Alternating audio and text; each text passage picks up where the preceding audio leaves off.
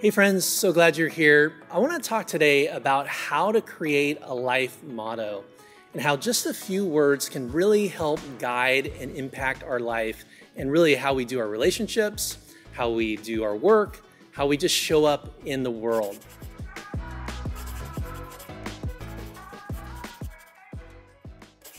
Now, I don't know if you've seen these, you probably have, these inspirational posters called successories. They're kind of those uh, cheesy office decor posters that you see hanging on the walls.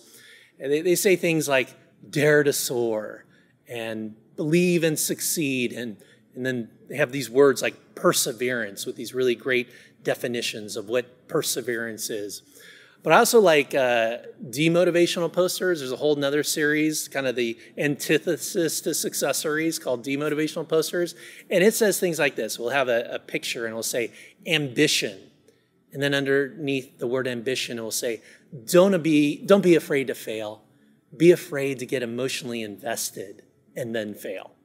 Or they, they have this poster uh, that says dreams, and it's kind of inspirational image. And it says, dreams are what you follow when you can't get a real job.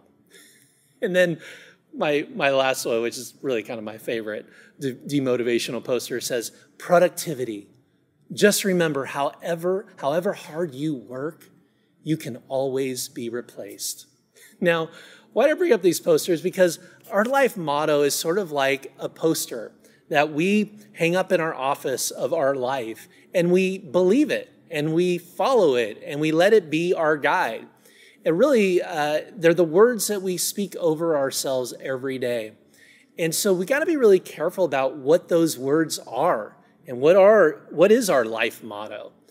And, and there's kind of a couple different ones that that people tend to put over their life. Number one, there's an affirming life motto where we remind ourselves of our value and our ability. It, it, it, reminds us and calls us to, to recognize our resilience and, and how we have survived something and our strength.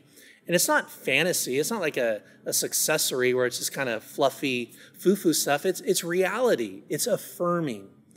And that's really what I encourage you to have an affirming motto or affirming words over your life. Or Sometimes uh, we have a life motto that's actually quite destructive. Uh, it's based in shame and it's punitive, and it's all we're always asking ourselves like, why do we why why did we do that? And and uh, we should have done something different. And and the reason why we sometimes go to these destructive life mottos is because they feel comfortable and familiar. We've heard them so many times that we just keep going back to them. And then finally, some of us have a life motto over our life that is honestly just sort of confusing. We bounce back and forth about who we are and what we believe and what our values are. And we use the statements like kinda, sorta, and we're not really sure. But having a clear motto and a clear phrase that is over your life is really important. And here's why. Here's the big idea I want you to catch.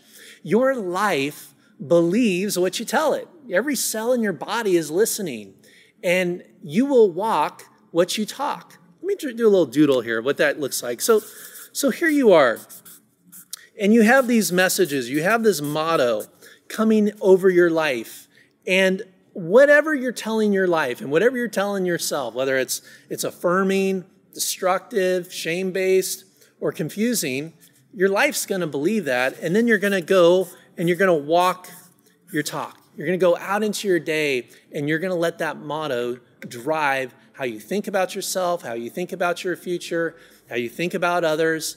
And so it's really important to define a really good life motto. And let me give you kind of three things that make a great motto. Number one, keep it short. Uh, number two, keep it accurate. Uh, this isn't, so again, fantasy or successories or just sort of inspirational hype. We want it to be accurate about who you really are and, and, and who you really, what you're really going after in life and what's important to you.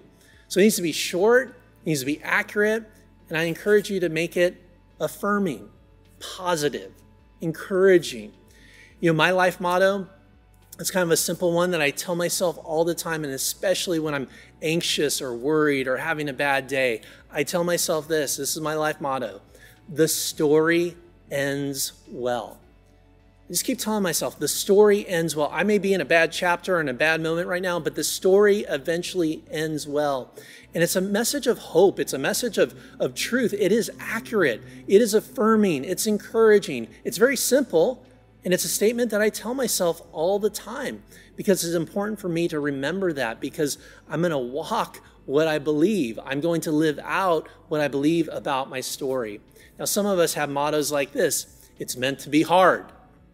Or some people say, well, things just don't turn out for me. And you just keep telling yourself that over and over again.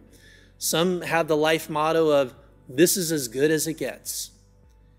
Guys, listen, our life motto matters because our life believes what we tell it. You will walk what you talk.